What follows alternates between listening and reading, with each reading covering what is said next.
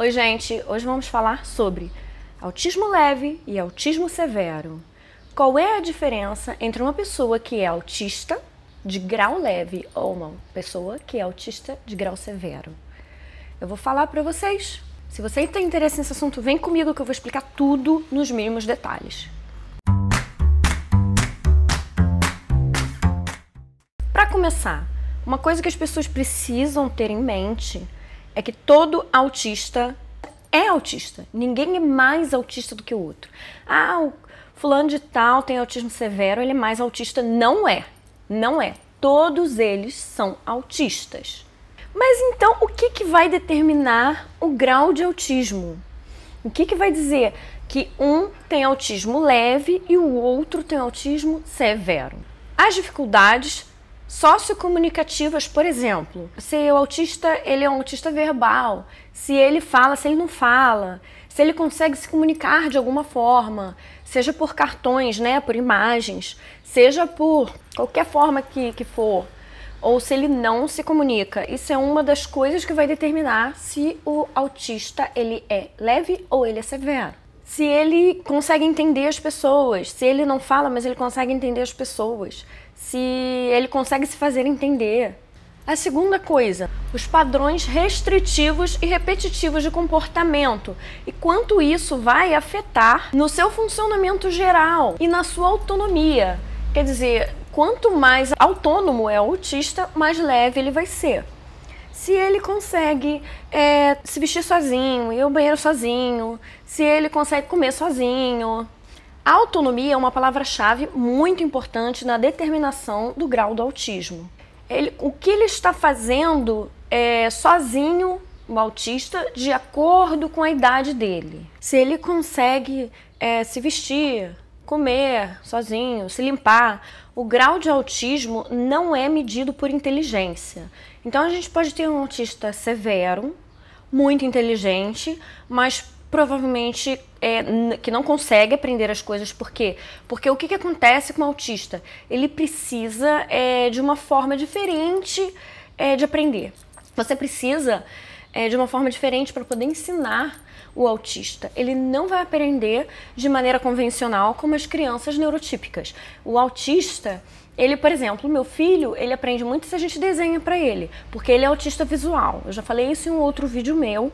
E o desenho, esquematizar, isso ajuda muito ele, né? Visualizar o que é ensinado ajuda muito ele.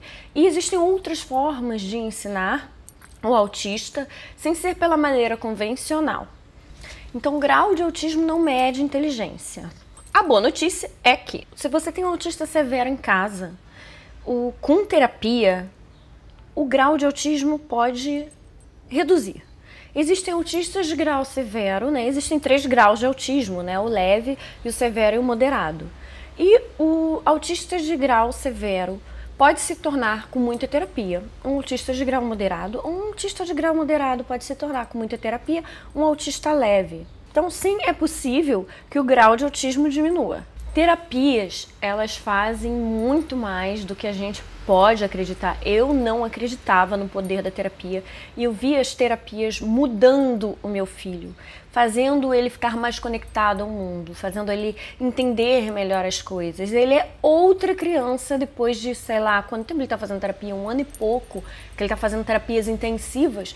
Ele melhorou demais em vários aspectos e ele está muito mais independente, ele está mais conectado, ele se comunica muito melhor, ele já está aprendendo, é, ele já está começando a entender sentimentos. Claro que ele tem muitas dificuldades ainda, ele é autista, ele nunca vai deixar de ser autista porque autismo não tem cura, mas você consegue dar uma qualidade de vida para a pessoa com terapias que é um negócio inacreditável. Então vale muito a pena investir o seu tempo em terapias o seu tempo e o seu dinheiro, né?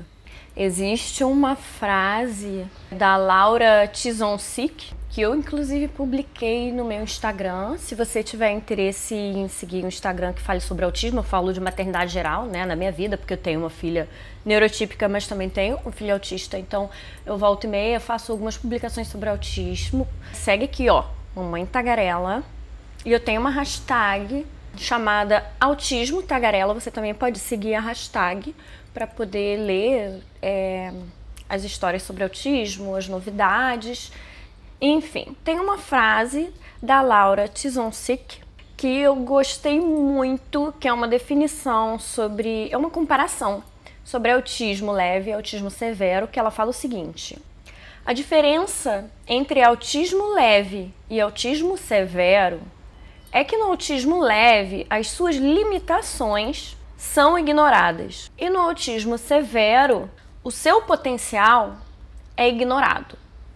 É, interpretando essa frase, eu vejo pelo seguinte: não é que você ignora o potencial da criança com autismo severo, é que as, as limitações dela chamam tanto a sua atenção e você se concentra tanto em ajudar nas limitações que você acaba esquecendo que por trás daquelas limitações existe uma criança com um potencial gigantesco que a gente ainda não está sabendo como explorar aquilo ou não está conseguindo explorar.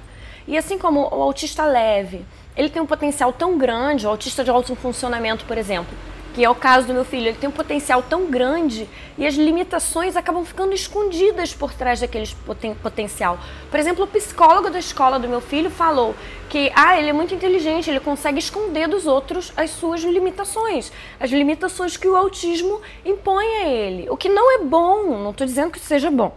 Estou dizendo que ele faz assim, então ele acaba escondendo aquilo e a gente acaba ignorando aquilo e acha que ele é tão capaz de fazer certas coisas básicas do dia a dia como uma criança neurotípica, como por exemplo, ir ao banheiro voltar do banheiro. E ele não é, porque ele esquece, agora não mais, mas ele costumava esquecer a calça baixada, esquecia de levantar e chegava na sala com tudo de fora. E em casa isso tá ok, mas e na rua? E na escola? entende? Então ele tem algumas limitações e a gente acaba esquecendo, porque o potencial é tão grande, é tão visível, que a gente acaba deixando de lado. E é isso que ela, a Laura, quer dizer nessa frase, que eu achei muito interessante. Bom, é isso que eu queria falar sobre autismo. Gente, quando você conhecer um autista leve, não se esqueça que ele é autista. Ele tem as limitações, ele tem as dificuldades, tem transtorno de, de processamento sensorial, ele pode ter dificuldade com várias áreas. Ele não é uma pessoa, uma, não é uma pessoa neurotípica. Ele está tentando se incluir no mundo dos neurotípicos, mas ele tem as limitações de você. A gente precisa ter isso em mente. Assim como você conhecer um autista severo, ele ele entende o que você fala, ele escuta o que você fala. Pode parecer que não, mas ele está lá presente e ele tem a capacidade dele. Eu sei que não são todos autistas severos que vão ter capacidade de aprender, mas existe uma parcela que vai conseguir aprender. E você precisa saber explorar isso e tentar descobrir como fazer. Porque eu, assim, eu sei que é fácil falar. Eu tenho um filho autista de alto funcionamento, grau leve. Eu não, nunca tive um filho de, com autismo severo para falar. Mas. E eu sei que a minha guerra é uma guerra. É muito pesado. É bem cansativo ter uma criança autista em casa. É, mas é possível você aprender a lidar com, com todos os aspectos do autismo e fazer a sua vida e a vida do seu filho e da sua filha ficar melhor. Espero que você tenha gostado do vídeo. Um beijo. Qualquer coisa, deixe comentários, perguntas, eu sempre respondo, tá bom? Até a próxima. Tchau.